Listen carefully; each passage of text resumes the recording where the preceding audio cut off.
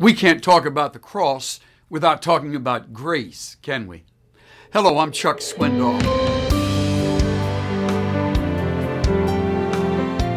The Savior paid the price for this ugly part of us, this sinful nature that each one of us must acknowledge. And He died once for all that whoever would believe in Him could have both forgiveness and everlasting life.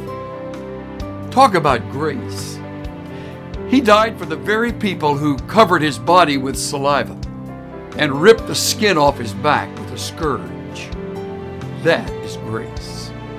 So please, Father, give us the hope that Christ forgives and lives within, and help us never ever to forget the cross.